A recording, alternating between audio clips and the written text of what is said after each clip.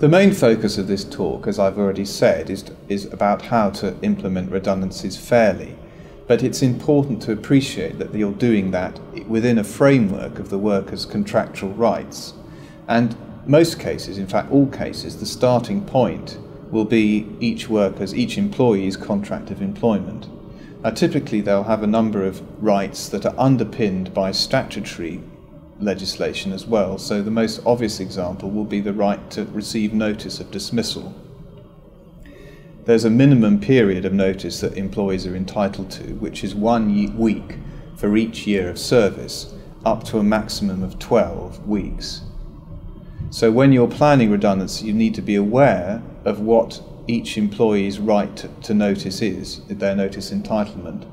And you may find that if you are trying to do things in a hurry, you won't have time to give employees their full notice, and therefore you'll have to make what they call a payment in lieu of notice. In other words, a payment to compensate them for what they would have earned during the untaken period of their notice.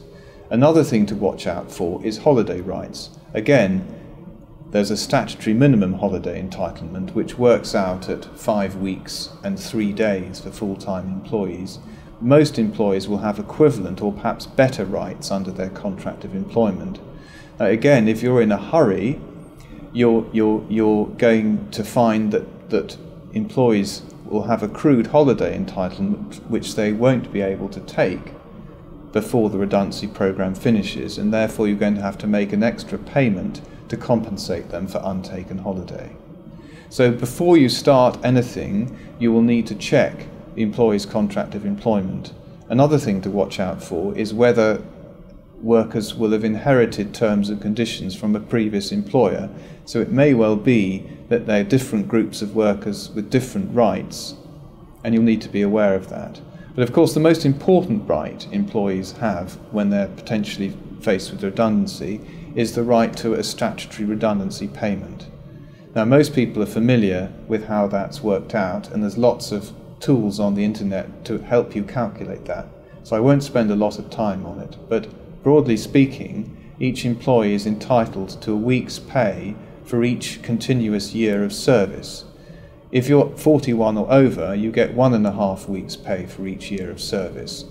There's a maximum of 20 years service that's credited in the calculation, and there's also a cap on the week's pay, which goes up in April every year. Currently it's £464.